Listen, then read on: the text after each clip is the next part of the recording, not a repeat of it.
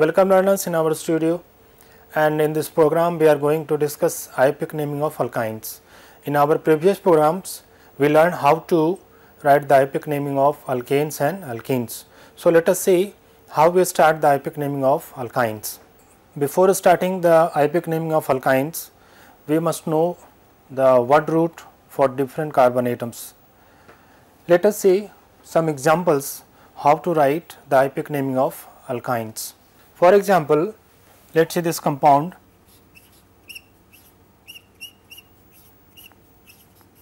CH3 hydrogen carbon triple bond C CH3. For this first of all we have to write word root and then last word YNE we have to add. For this number of carbon atom is uh, you can see here 3 for 3 the word root is prop and as it contains triple bond it will be an alkyne. So, we have to write YNE the name will be propyne. Also you can write another compound suppose CH3 C triple bond CH3. Now, in this compound we have to give the position of this triple bond and as the rule you know we have to start the numbering from left side or right side and in the both the cases you will find that it get this carbon gets equal number. So, we can start numbering from any side 1, 2, 3 and 4. Now, just see this carbon atom which contains 2 and 3 number. As you know that between these two numbers we have to choose the least number that is 2 and as the rule we have just write the word root for the number of carbon atoms. Here is 1, 2, 3, 4 carbon. Then the word root will come but. And then the position we have to write position we have to write 2 and then last word YNE that is the IUPAC name for this compound will be but 2 ine. In the same way suppose it contains double triple bonds.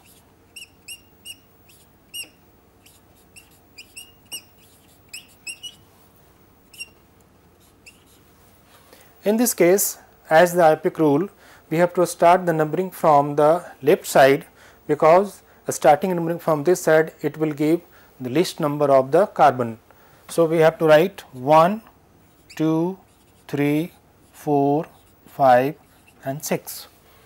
As it has 6 carbon atom our word root will be hex and you can see here there are two alkyne groups 1 and 2 position, 3 and 4 position. So, we have to take 1 and then 3 and di for 2 alkyne groups and these diene. This is the correct name for this alkyne that is hex 1 3 diene is the correct IUPAC name of this type of alkynes. Now, see some more examples.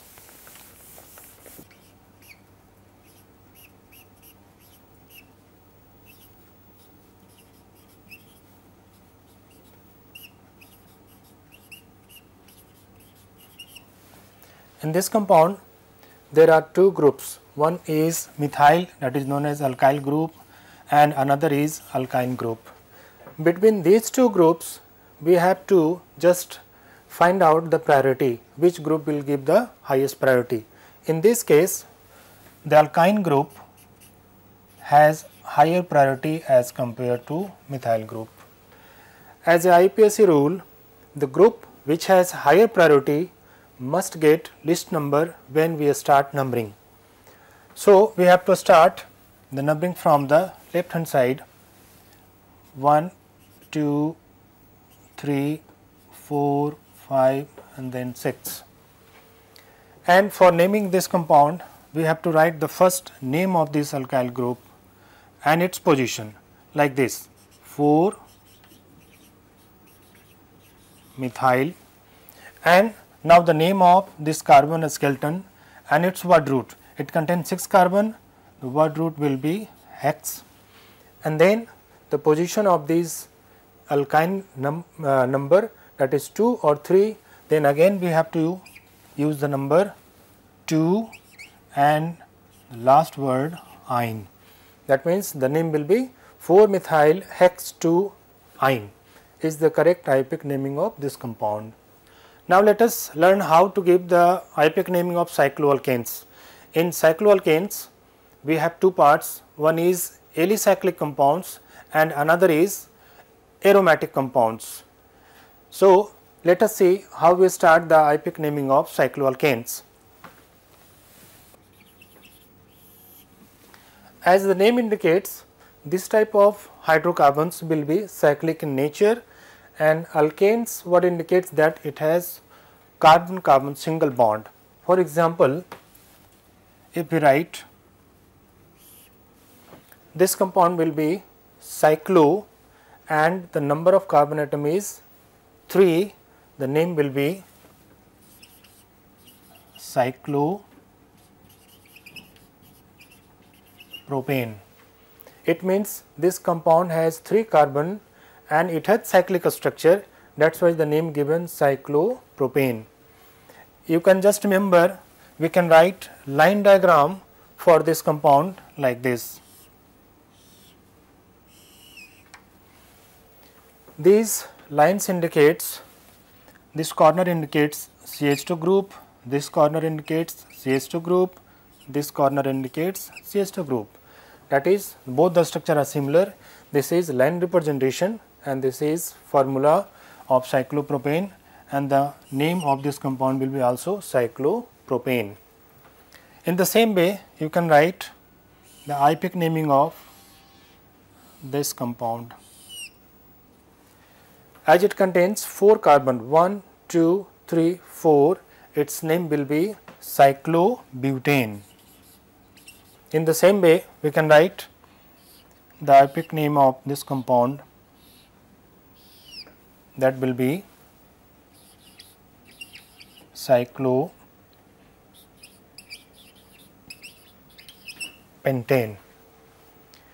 Suppose we have given another compound which has double or triple bonds in the cyclic structure. Suppose the compound is written like this. This compound is known as obviously it has double bond it will be not cycloalkane but it, it will be cycloalkene and for naming this we have to write cyclo but and then ene for this alkene group. The compound is cyclobutene. If we write a compound like this, then we have to put the number of these double bonds at is had two double bonds we have to start numbering in such a way so that it these double bonds should get list number. So, we can start numbering from this side 1, 2, 3 and then 4. As it has 4 carbon and its cyclic structure, its name will be written like this. First you add the word cyclo that is a cyclic structure and then its number of carbon atoms that is 4 but and then its position 1 and 2 the list number 1 will be considered and then 3 and 4 the 3 will be considered and then we use di and then in. The name is cyclobut 1,3 diene is the IUPAC name for this type of cycloalkenes. Another example you see suppose the compound is written like this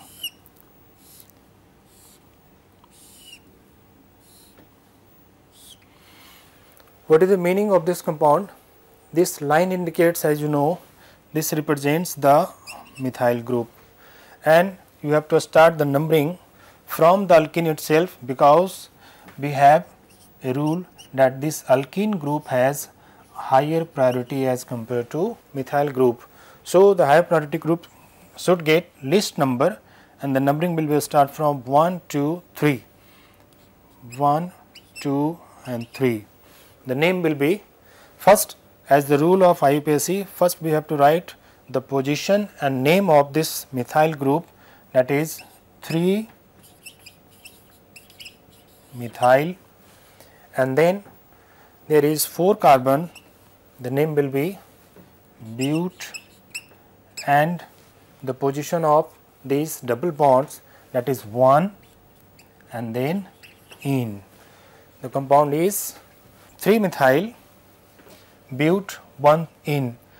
Now, just find out what is the mistake in this naming. You will see one word is missing here that is we do not have written the cyclic word.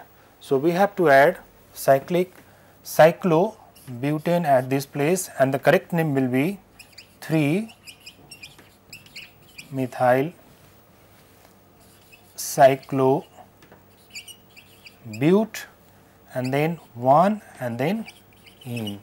This is the correct name for the written compound. Generally students you just do this one this naming this is incorrect because our actual structure is cyclic. So, we have to add this word cyclobut 1 is the correct name of this compound.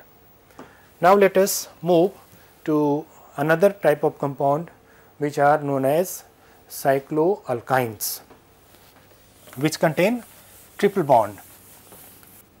Suppose I have written this obviously it has triple bond it will come under cycloalkynes. The name will be just like the rule is same as we followed in case of cycloalkenes. The name of this compound will be first we have to write the word cyclo and then word root but for 4 carbon atoms and then the last word YNE that is cyclobutyne. Also you can write the number or you can write cyclo but 1 ine that indicates the position of this triple bond. Now see another compound which has triple bond at this place and another bond is at this place. For naming this compound you just see how we start the numbering of these triple bonds. So, we can start from this side 1, 2, 3, 4 we can also start from 1, 2, 3, 4 and this 5. The better is as per the recommendation of IUPAC we have to start the numbering from this side this carbon and then this carbon not this side 2, 3, 4 and 5. The name will be cyclo then you write the position of these two triple bonds cyclo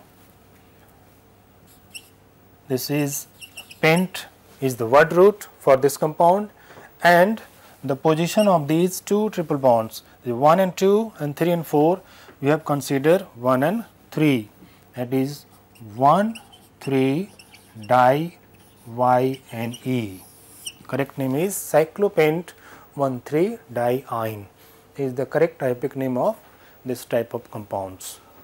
Now, let us move to another type of cyclic compound which is known as aromatic compounds. Now, see how these aromatic compounds are named.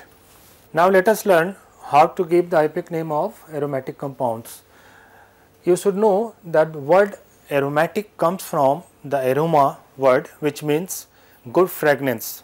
Now, see the most common aromatic compound we generally use is benzene.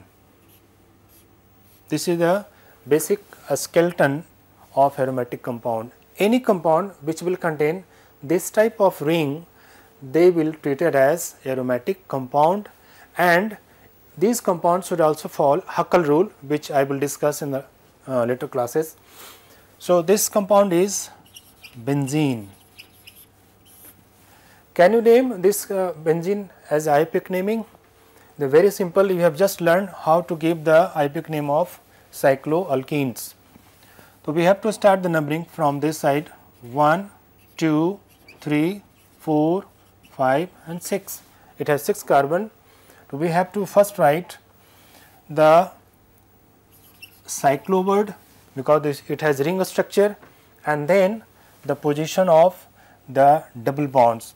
Remember we have to put only one number at the alkene group. So, we have used 1, 3 and then 5 cyclo 1, 3, 5 and then there is 3 double bonds we have to use tri and then ene is the correct IUPAC name of this benzene molecule cyclo 135 triene or simply we just say benzene. Now see some common examples of aromatic compounds and its cyclic naming.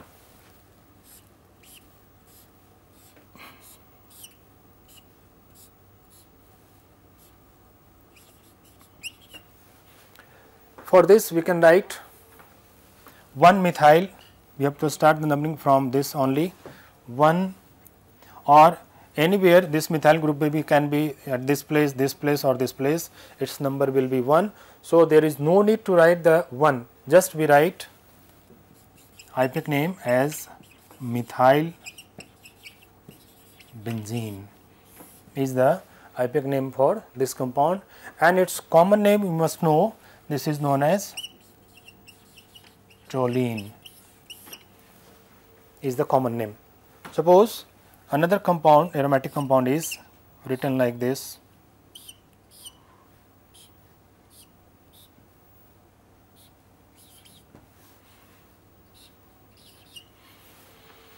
Now, see there are two chloro groups here. We have to start numbering from the position where these groups as well as these alkene groups will get the list number.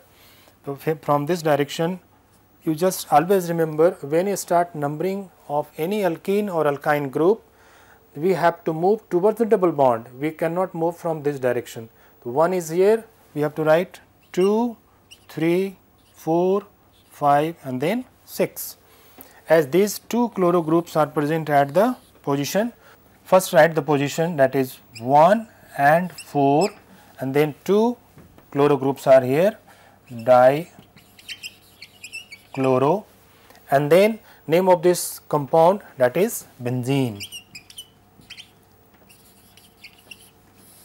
The name is 1 4 dichloro benzene is the IUPAC name of this compound.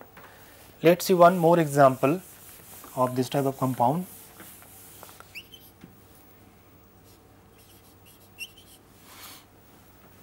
In this case, we have to start the numbering from which direction. Suppose I have written this methyl group is here and this methyl group is here. We have start the numbering not in this direction from this position we can write 1, 2, 3, 4, 5 and then 6 and the name will be very simple. We have to write the first position of these two methyl group that is 1 3 di methyl and then benzene. That is 1 3 dimethyl benzene is the IUPAC name of this compound. One very particular compound we will learn suppose we have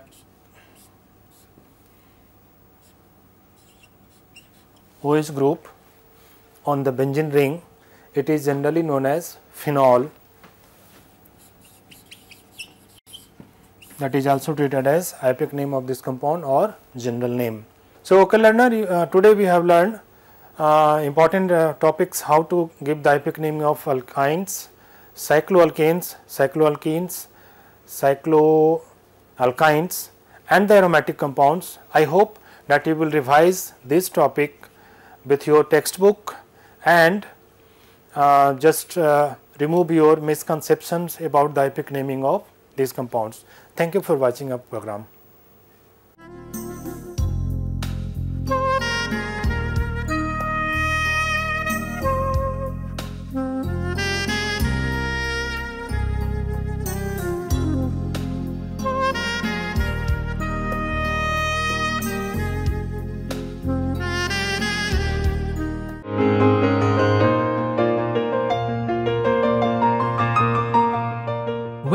To the National Institute of Open Schooling, Reaching the Unreached.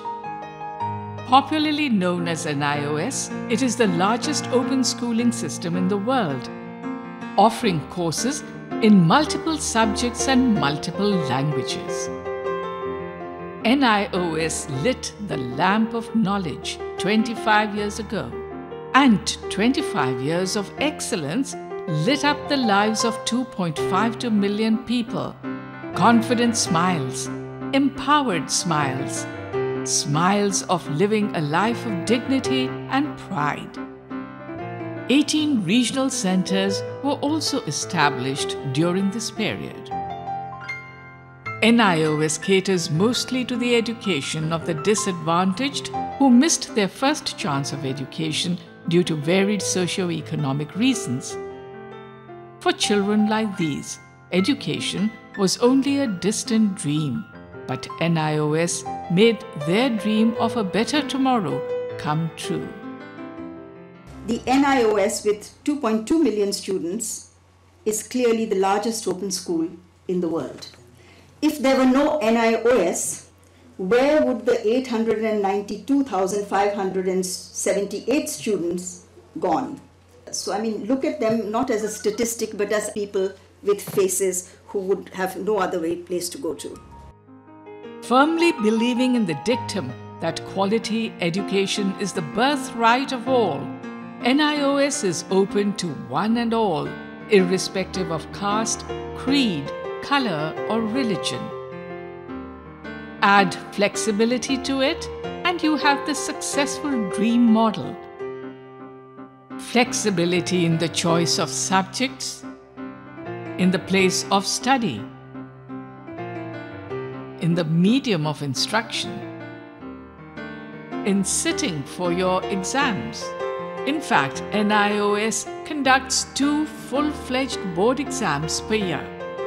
Another unique facility NIOS offers is an on-demand examination, wherein you appear for your exam as per your convenience and preparation.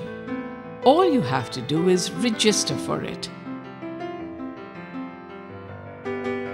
Living up to its motto, education anytime, anywhere, and for anyone, NIOS ensures that social backgrounds have no relevance. Able and differently enabled have an equally bright future and age is meaningless. I am going to talk about a lady. She is about 88 years old. She met me recently. She has written a book, name of the book, Bride at 10, Mother at 15, MA at 80. With all the family's commitment, she was proud to announce everywhere that she is appearing for a MA degree at the age of 78 through distant education at Delhi Center. But NIOS also realized that just quality education was not enough. Getting trained in vocational skills was equally important. And so, vocational training became a part of the curriculum, thereby linking education with livelihood. Today, we have 86 vocational courses, but that is only half the story. To ensure that our students have a more promising future, we are collaborating with prestigious organizations like NSDC, ITDC, Cisco, IMA, CIDC, etc. Under the Sakshar Bharat program of Government of India between 2010 and March 2013, NIOS has assessed more than 3 crore neo-literates and certified about 2.5 crore by giving due recognition to their literacy skills. The innovational horizon of NIOS is also dotted with sports stars, film stars, singers, violinists, painters, beauticians, plumbers, etc. But there was no magical wand or Aladdin's chirag. that created this incredible institution.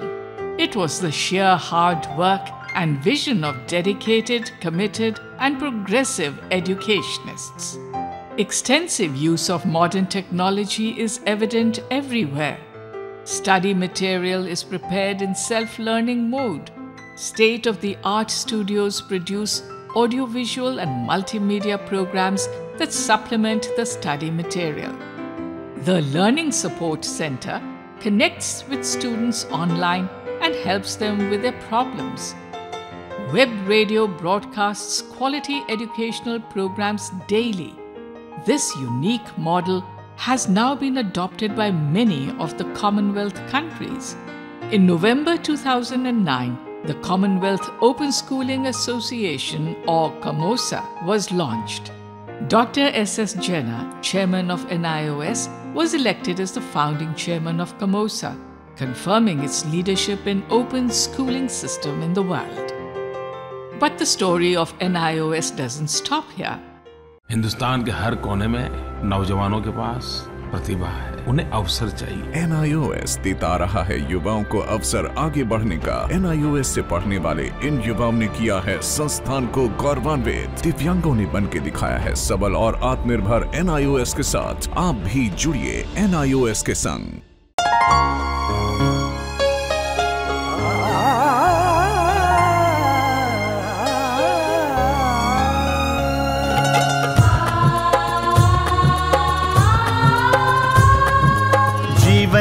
प्रकाशित करने, राहों को आलोकित करने।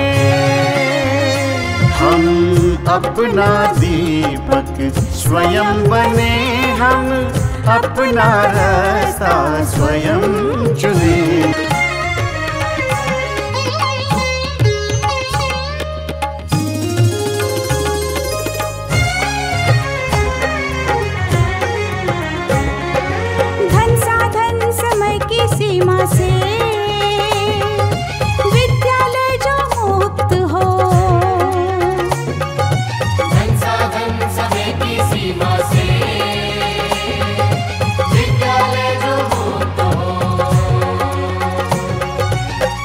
पढ़े हम कहीं पढ़े।